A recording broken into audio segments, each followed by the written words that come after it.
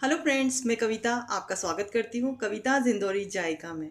आप सभी को दीपावली की बहुत बहुत शुभकामनाएँ। आज मैं बना रही हूँ गुजिया।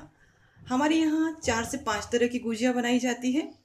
आज मैं आपके साथ तिल्ली की गुजिया की रेसिपी शेयर कर रही हूँ। इसे बनाने के लिए मैंने यहाँ पर लिया है 200 ग्राम तिल्ली। देखिए। गुड़ लिया है 100 ग्राम। एक कटोरी मैदा और घी। आइए इसे बनाना शुरू करते हैं। मैदा लेंगे। इसमें मोइन के लिए एक चम्मच घी डालेंगे। आप घी की जगह तेल भी डाल सकते हैं। घी को मैदे में मिक्स कर लेंगे और थोड़ा थोड़ा पानी डालकर आटे के डो की तरह तैयार कर लेंगे। देखिए ये तैयार हो चुका है। अब हम एक कपड़ा लेंगे, उसे हल्का सा गीला कर लेंगे और उसमें मैदा लपेट कर इसे ढककर रख देंगे। मैदा सेट हो रहा है। जब तक हम फिलिंग तैयार कर लेते हैं, गर्म कढ़ाई में तिल्ली डाल लेंगे। तिल को हमें तीन से चार मिनट तक सेकना है।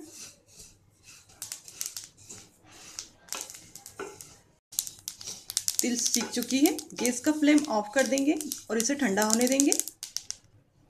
तिल के ठंडा होने पर इसे हम हल्का दरदरा पीस लेंगे। ये देखिए, हमने तिल को हल्का दरदरा पीस लिया है। अब हम इसमें गुड़ मिलाएँगे। गुड़ हम हाथों की सहायता से मिलाएँगे।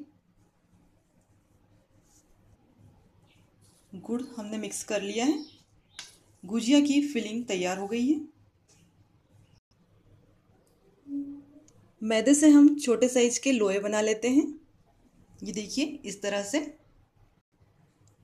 लोहे पर इस तरह से मैदा लगाएँगे। और इसे पूरी के आकार इतना बेलेंगे।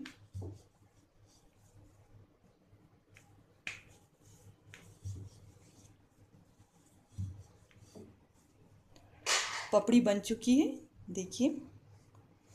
अब हम गुजिया बनाने का मोल्ड लेंगे और इसे इस तरह से रख देंगे।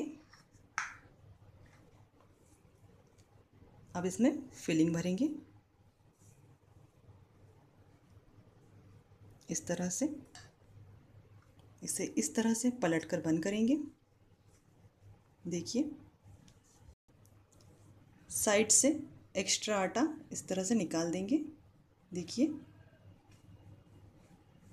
इसे हम इस तरह से खोलेंगे और इस तरह से निकाल लेंगे। इसी तरह से हम सारी गुजिया बना लेते हैं। देखिए, हमने गुजिया बना ली है। अब हम इन्हें घी में डीप फ्राई कर लेंगे। गर्म कढ़ाई में घी डालेंगे।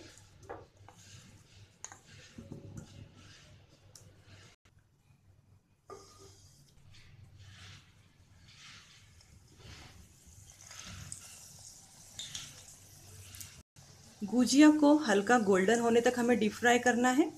अब हम इन्हें पलट लेंगे। इन्हें निकाल लेंगे।